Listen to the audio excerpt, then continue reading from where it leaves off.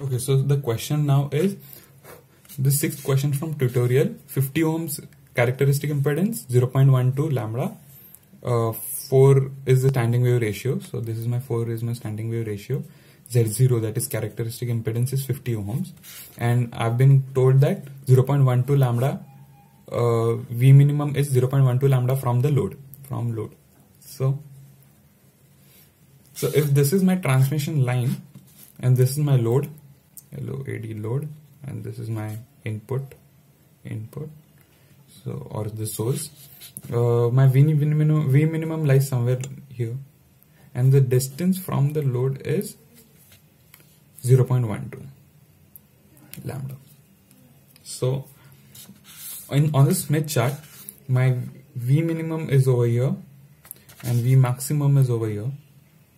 So we now know that uh, our load is 0.12 uh, lambda away from V minimum. So if this is my V minimum, from V minimum I have to go towards load 0.12 lambda.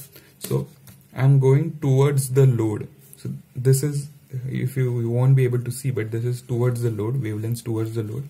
And this is 0.0. So now we just add 0.12 to it and then we get somewhere over here is 0.12 lambda from the load so let's do it and let's mark the point. 0.12 now I'm going to join it with the center of the circle or the Smith chart. Uh, now this is done. So our ZL lies somewhere on this line. So how how are, how, how are we going to find out the next uh, the point on this line is by using standing wave ratio. Now we know that standing wave ratio is basically nothing but the uh, place where uh, our uh, constant VSWR circle cuts on the x-axis. So now this is my 4.0. So this is where my standing wave ratio or constant SWR is located. And all I have to do is draw a circle from the center through this point and if I just draw it like this okay, I've drawn this this is my constant VSWR circle. So this is where my uh, point intersects the circle the line intersects the circle.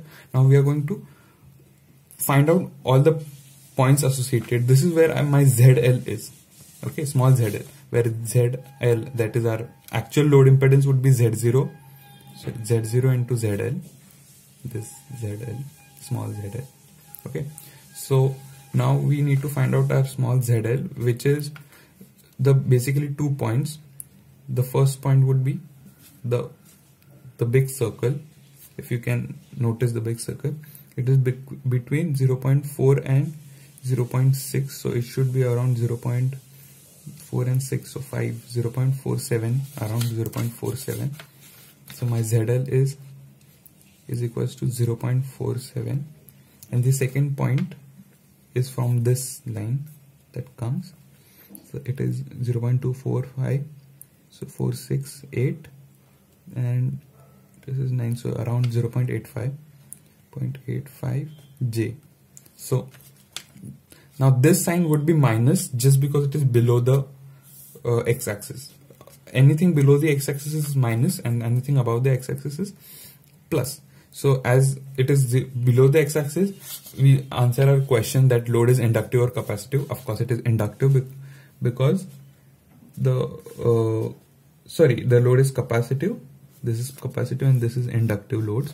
Okay, so the load is capacitive because of course this is minus sign.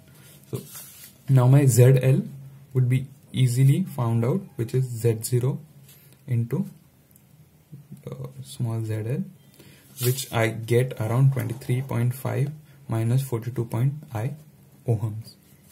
This is my ZL. Okay.